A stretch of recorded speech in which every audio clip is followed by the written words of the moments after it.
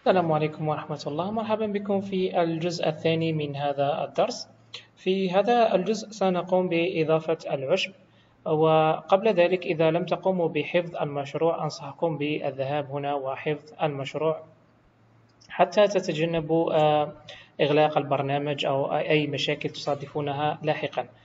فنقوم الآن بإضافة Shift A وأذهب إلى Image وأقوم بإضافة Image as Plane إذا لم تكونوا تملكون هذه الخاصية نذهب هنا إلى Edit Pre-References إلى Add-on ونكتب هنا في خانة آه، البحث Image. فتظهر هذه هذه هنا ونقوم بتفعيلها من خلال آه، هذا check box وأقوم بحفظ هذه الإعدادات من Save Pre-References. آه، عندما تقومون بذلك ستظهر لكم هنا في آه، Shift A Image و Image as Plane ثم نقوم بتحميل هذه الصورة صورة التكشر. هي مرفقة في الوصف أسفل الفيديو. أقوم بتحديدها وأضغط Import Image as Plane يعني آه، هي لوح ويحتوي على تكشر صورة. أقوم بتدويرها R90 ثم أقوم بتكبيرها ب S. وأضعها تماما تحت الكرة G Z. بهذه الطريقة. ثم أذهب إلى الأعلى بالرقم سبعة وأقوم بتدويرها بتسعين درجة R تسعون بهذه الكيفية. أقوم بتكبيرها قليلا. فالآن سأقوم بإنشاء العشب. العشب طبعا يشبه آه، الشعر. فلاستعمال آه، أو لإنشاء العشب نقوم باستعمال خاصية ال particle system. إذا لا, لا تعرفون ما هي ال particle system أنصحكم بمشاهدة الفيديو من كورس آه، كأس العصير. فمن خلاله قمنا بشرح خاصية ال particle system. فأذهب إلى أيقونة ال particle system من هنا وأضغط على plus وأختار هير فتشاهدون آه، أنشأ شعر لكنه في, في الاتجاه آه، السفلي. فلتصحيح ذلك نقوم بتدوير هذا اللوح ب 180 درجة. أضغط R 180 فيصبح بهذا الشكل إلى الأعلى. والآن سأقوم بتخفيض قيمة أو طول طول هذا الشعر إلى 0.01 هي قليلة جدا سأضع صفر فاصل واحد. قليلة أيضا صفر فاصل خمسة تكون جيدة بهذه الكيفية. الآن أقوم بتفعيل آه هذه Advanced وأذهب إلى Physics وأقوم آه بزيادة في قيمة آه في هذه القيمة هنا. فيصبح بهذا الشكل العشوائي بهذه الطريقة. ثم أقوم بزيادة عدد آه، العشب فأضعه إلى مئة ألف. فأضيف صفرين هنا بهذه الطريقة ويصبح العشب كثيف بهذه الكيفية. يمكن التحول إلى وضع الماتيريال لمشاهدة ذلك. يبدو جميل. لكن حجمه كبير جدا سأضع عند صفر فاصل واحد بهذه الكيفية حتى تظهر الكرة. الآن سأقوم بتغيير موضع الكاميرا حتى تكون في آه، مقابلة أو مركزة على الكرة فأذهب أكون في آه، الزاوية الأمامية وأضغط كنترول Alt 0 بهذه الكيفية وأحدد الكاميرا من خلال الضغط على هذا الإطار هنا وأضغط G X وأقوم بجعل الكرة في منتصف المشهد. ثم أذهب إلى آه، هذه الأيقونة هنا حتى أجعل الصورة آه، مربعة الشكل فأقوم بتحويل هذه القيمة إلى 1080 بكسل بهذه الكيفية وأعمل zoom للكرة بتحريك الكاميرا إلى الأمام G Y بهذه الكيفية. G Y حتى نركز على الكرة. جميل.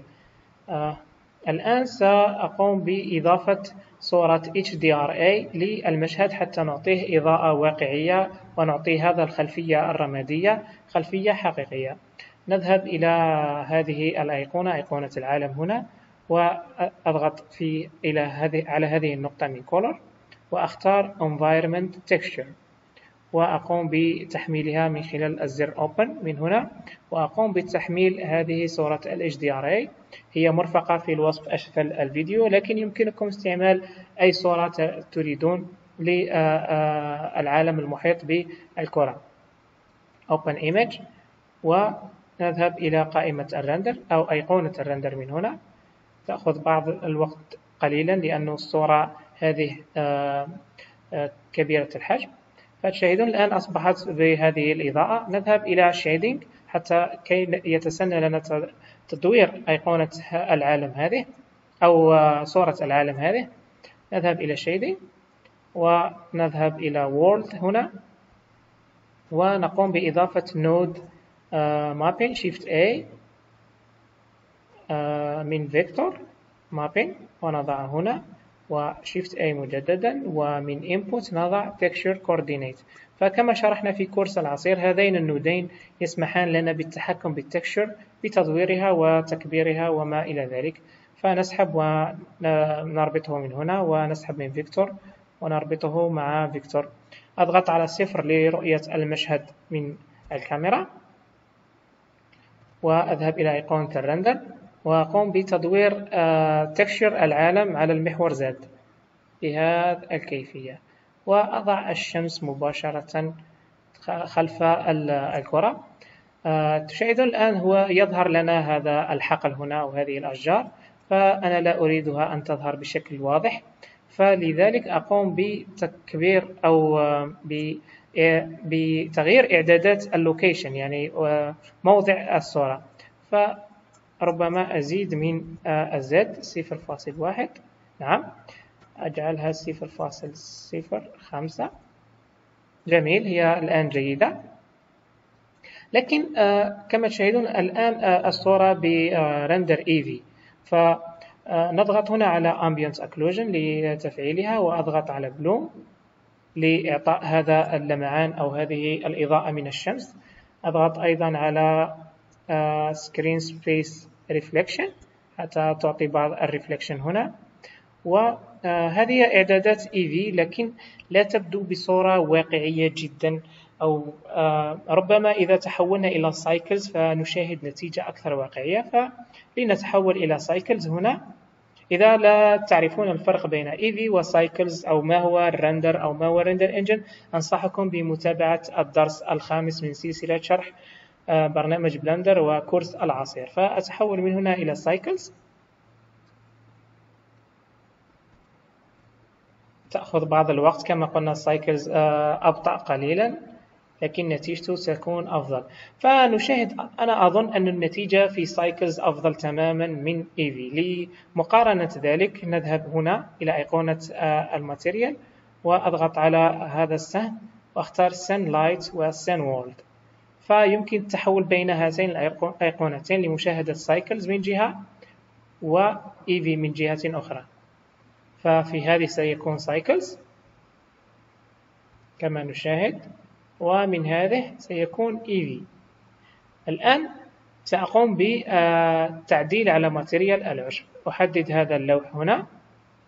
أذهب هنا إلى Object. فأقوم تحرك هذه هنا قليلا. ف material العشب أو material النباتات بصفة عامة أو أوراق الأشجار هو material يسمح بنفاذ ضوء الشمس من خلاله. فلإنشاء ذلك نقوم بإضافة shader translucent. فأقوم ب Shift A shader. وأختار translucent هنا وأضعه هنا. هذا ال shader يسمح أو ينشئ خامات تسمح بنفاذ الضوء مثل العشب أو أوراق الأشجار أو بعض أنواع البلاستيك أو القماش. فأنا أضفته هنا كيف نمزجه مع هذا ال shader؟ أقوم بإضافة Shift A وأختار mix shader فهذا mix shader يسمح لنا بمزج shade آه no آه اثنين من ال shader. فهذا shader وهذا shader. سأربط هذا المنفذ مع هذا. فال shader أصبح باللون الأبيض وهذا راجع إلى هذا اللون هنا. فأقوم بربط منفذ ال color من ال texture وأربطه مع منفذ ال color في ال translucent. فأصبح لدينا هذا آه فأصبح العشب بهذه الكيفية. أقوم قليلا بتخفيض قيمة ال roughness لأنه لامع قليلا. وأشاهد أيضا ب Cycles كيف تبدو النتيجة.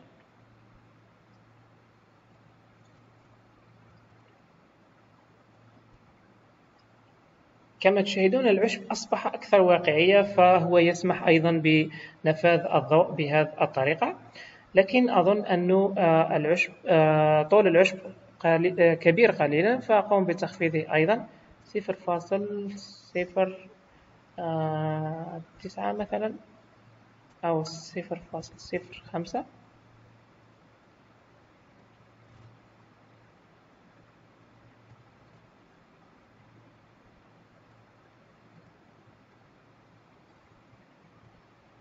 أظن أنه أجمل بكثير كما أن العشب يبدو آه، واقعي إلى حد بعيد. ألقاكم في الدرس القادم بحول الله حيث سنقوم بإضافة بعض آه، الاتساخ والخدوش على خامة الكرة.